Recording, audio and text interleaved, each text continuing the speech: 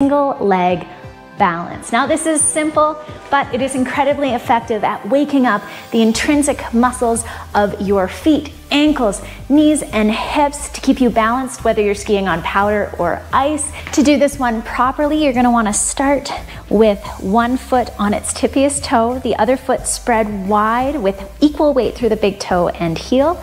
You're gonna lift that other foot off the ground without raising any hip up or letting it drop down.